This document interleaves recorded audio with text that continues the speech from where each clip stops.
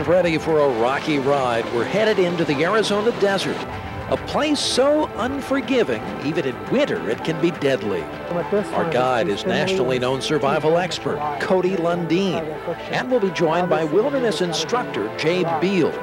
Our mission? To learn how to survive here and anywhere else. The biggest way to die in the outdoors is, is that people die of exposure. The landscape is beautiful, but the desert can be a killer, especially in summer. Uh, a few years ago, it was about 120 degrees, 122 degrees. That means the ground temperature right here through conduction, um, this could easily be 140, 150 degrees on the ground. So that's hot. Luckily, there is plenty of water nearby, a stream fed by winter storms. Lack of water can kill you in an hour or so in the desert, although your first concern is to avoid panic and make a plan to survive. Our plan is to head out into the backcountry on foot, and now we're ready for anything.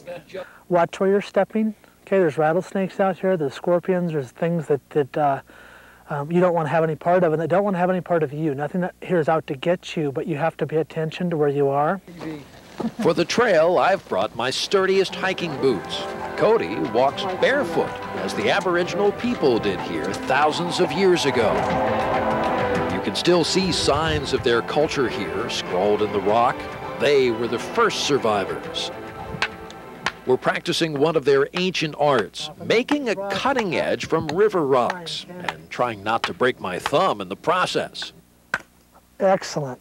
Look at that whopper blade. That's a nice knife. So you would take this and do what? Skin fish, manipulate wood to make fire, cut pieces of cordage, process yucca. Yucca leaves can be pounded, scraped, and washed to produce string-like fibers that can be wound into a strong rope. And we could pull your truck out of the ditch. But if you're stuck for the night here, you'll need heat. The warm desert afternoon will soon turn to a frozen night, and we'll need some way to stay warm. Our quest for fire begins with a nearly impossible search for a straight piece of wood. Not to burn, but for a bow drill to start a fire. It doesn't get much straighter than that. Then put together dried bark as a kind of base for your fire. Looks like a bird's nest. Right. So here's a basic tinder bundle. Grab your bow and drill, place the drill in the fireboard beneath your foot, add pressure from above, and get working. Remember, you can do without food for weeks. You can go without water for days. But shelter and warmth can make the difference between life and death within hours. Cody makes the fire building process look easy. There's fire with sticks. It's so simple anybody could do it with the right tools and a little bit of know-how. You can blow a teeny bit harder, but even breaths. There. There's fire. It comes just in time to see the last of the sun, and as it falls, so does the temperature.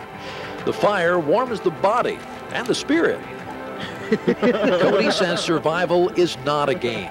It's a struggle, and it's cooperation with your companions, not competition. Those skills are valuable for everyone.